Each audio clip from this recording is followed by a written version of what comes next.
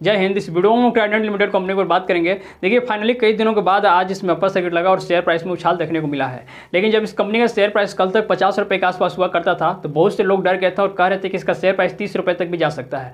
हालाँकि आपको याद होगा ऑलरेडी मोतीलाल ओसवाल जी ने इसका टारगेट दिया है तिहत्तर रुपये का। तो वाकई में यह शेयर किस डायरेक्शन में जाएगा? इस वीडियो में हम लोग इसी मुद्दे के ऊपर तफसील से बात करेंगे। साथ में यह भी बताऊँगा कि फ्यूचरिस्टिक पॉइंट ऑफ़ व्यू से यह कंपनी कितना सही है हमें इसमें बने रहने के लिए तथा नए लोगों के लिए क्या जगह है, हर एक चीज़ पर बात होगी। आइए वीडियो शुरू करते हैं। देखिए, ये जो ट्राइडेंट लिमिटेड कंपनी आपको पता है कि इसका जो मेन बिज़नेस है टेक्सटाइल्स का बिज़नेस है, उसके अलावा पेपर इंडस्ट्री से भी यह कंपनी जुड़ी हुई और साथ में केमिकल का कारोबार भी थोड़ा बहुत करती है।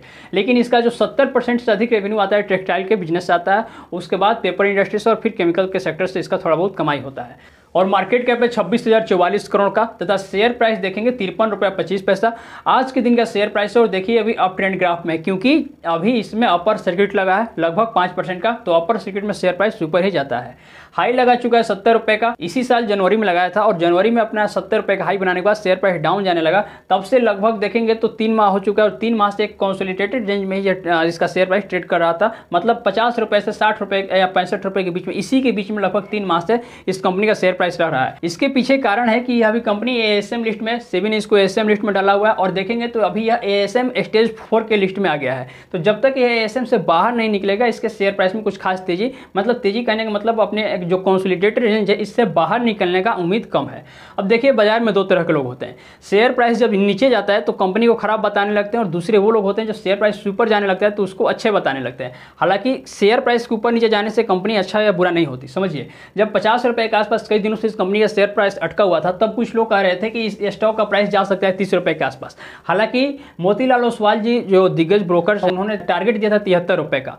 तो मोतीलाल ओसवाल जी ने जो अपना टारगेट दिया था, इसके पीछे इन्होंने तर्क और लॉजिक दिए थे। इसके ऊपर तो बात होगी। लेकिन ये जो लोग यह बात कर रहे थे कि ट्राइडेंट का शेयर प्राइस तीस रुपये के आसपास तक जा सकता है, ये लोग ऐसा क्यों कह रहे हैं कि तीस रुपये तक प्राइस जा सकता है, उसके बारे में थोड़ा सा मैं जो रिसर्च किया हूँ, वो आपको बताता हूँ, समझेंगे।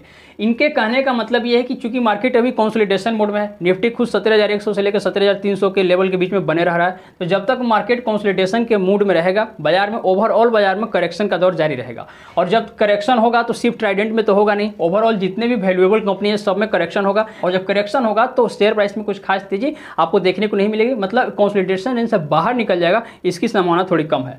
अब समझिए, यदि यह करेक्शन लंबा खींचता है, करेक्शन लंबा खींचता है तो क्या हो सकता है? ट्राइडेंट का शेयर प्राइस डाउन आ सकता है। लेकिन क्या तीस रुपए तक आ सकता है? नहीं, ट्राइडेंट का शेयर प्राइस तीस रुपए तक नहीं आ सकता है क्योंकि ट्राइडेंट देखिए, बहुत ऊपर निकल चुका है कंपनी और इसका शेयर प्राइस अब इतना नीचे आएगा, इसकी उम्मीद बहुत कम है, संभावना बहुत कम है, लगभग ना के बराबर है। ओके अब समझते हैं, मोतीलाल ओसवाल जी ने जो इसका तिहत्तर रुपये का टारगेट दिया, उनका क्या रिसर्च और एनालिसिस से उनका क्या तरह उस पर बात करते हैं।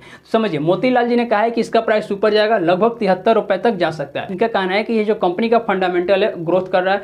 आपने देखा होगा शेयर प्राइस भले पचास रुपये के आसपास तक आया, लेकिन क्या उसके फंडामेंटल में कोई कमी हुआ? फंडामेंटल डाउन हुआ फंडामेंटल डाउन नहीं हुआ फंडामेंटल में ग्रोथ हुआ है। और दूसरी बात कंपनी का बिज़नेस ग्रोथ भी हुआ है। इसका जो टेक्सटाइल और पेपर सेगमेंट का बिज़नेस है, दोनों ने स्ट्रॉन्ग परफॉर्मेंस दिया है। पिछले अगर दो साल के ईयर और ईयर बेसिस पर बात करें तो सिर्फ़ इस कंपनी के ये दो सेगमेंट का जो बिज़नेस है टेक्सटाइल और पेपर सेगमेंट का, उससे बावन परसेंट रेवेन्यू ग्रोथ हुआ है। ईयर ऑन ईयर बेसिस पर मैं बात कर रहा हूँ। तो ओवरऑल फंडामेंटल ग्रोथ हुआ और बिज़नेस भी ग्रोथ हुआ है। इसके अलावा मार्केट लीडर तो यह कंपनी है, इसमें किसी को शक नहीं होना चाहिए। यह भले देखिए पेज इंडस्ट्री टेक्सटाइल सेक्टर में भारत की नंबर वन कंपनी है।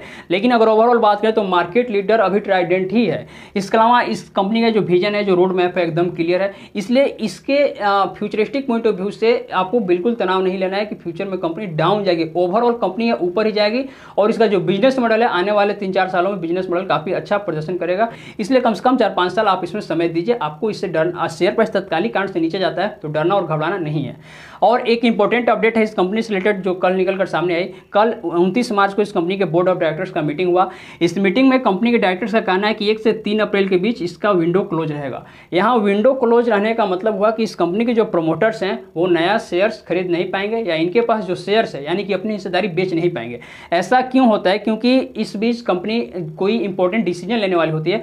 जैसे हो सकता है कि एक से तीन अप्रैल के बीच इस कंपनी के बोर्ड ऑफ़ डायरेक्टर्स की मीटिंग हो और उसमें क्वार्टर फोर के रिज़ल्ट के लिए बैठक हो और उसकी चर्चा की जाए। क्योंकि आपको पता है, आज तीस मार्च हो गया और अगले माह में कंपनी के क्वार्टर फोर के रिज़ल्ट आने वाला है। तो हो सकता है इसके लिए इस दौरान इस कंपनी के बोर्ड ऑफ़ डायरेक्टर्स की मीटिंग होगी तो ये कुछ अपडेट निकल कर सामने आ रहे थे, जिसके बारे में मैंने आपको बताया, और ओवरऑल कंपनी का शेयर प्राइस किस डायरेक्शन में जाएगा, उसके बारे में मैंने आपको बताया। उम्मीद करता हूँ मेरी बातें आपको समझ में आई होंगी वीडियो इन्फॉर्मेटिव लगा होगा। फिर भी अगर मन में कोई सवाल है तो आप हमसे पूछ सकते हैं। पर्सनली मुझसे जुड़कर बातें करना चाहते हैं तो मुझे इंस्टाग्राम पर फॉलो कर सकते हैं। मिलते हैं नेक्स्ट वीडियो में, तब तक धन्यवाद, शुक्रिया।